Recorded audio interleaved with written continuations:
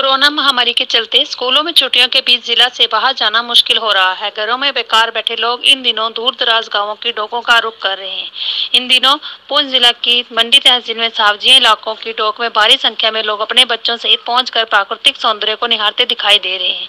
इन दिनों बड़ी संख्या में लोग अपने बच्चों सहित सावजिया के रड़गांव, मंग्याला, नेड़ियन जैसे डोकों में पिकनिक मनाने जा रहे हैं। लेकिन वहाँ पर रात को रुकने की व्यवस्था नहीं होने के कारण लोगों को जल्दी वहाँ से लौटना पड़ता है।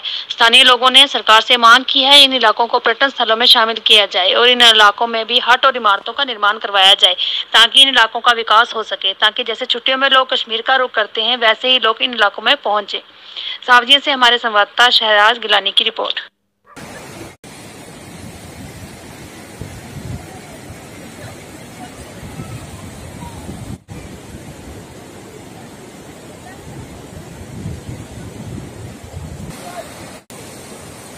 डिस्ट्रिक्ट पुंछ के रहने वाले हैं और तहसील मंडी से हम बिलोंग करते हैं। आज यहाँ पर हम सैर पे आए हैं, बच्चों को साथ लेकर पिकनिक मनाने के लिए आए हैं। ये रंगावाड़ से ऊपर मंगाना एक ढोक है, उस ढोक से होकर हम आए। तो यहाँ पर इस वक्त जो आप देख रहे हैं, ये चहल पहल गुलमर्ग से भी ज़्यादा इस वक्त जो रश है, लोगों का, बच्चों का पुंछ से मैंडर सुरनकोट से यहाँ पर जो है वो लोग आए हैं सैर करने के लिए। तो हम चाहते हैं कि इस एरिया को ये डेवलप होना चाहिए। यहाँ पर रहने के लिए जगह होनी चाहिए, रहने के लिए यहाँ पर टूरिस्ट आ सकते हैं। लेकिन उसके लिए, रात के लिए यहाँ कोई भी जो है वो जगह का जो है वो सिरबंद नहीं है। हम चाहते हैं, हम सरकार से गुजारिश करते हैं कि अगर इस एरिया को रंगावाड़ एरिया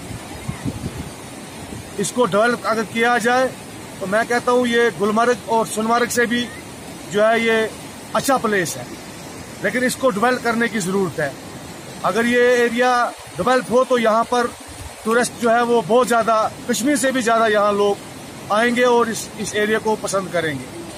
और यहाँ हज़ारों की तादाद में लोकल सयाह जो है, पूंछ से मैंडर, सुरनकोट और मंडी के इलाके से तशरीफ़ लाते हैं, लेकिन बदकिस्मती से ये इलाका टूरिज़्म के नक्शे पे नहीं आ सकता है।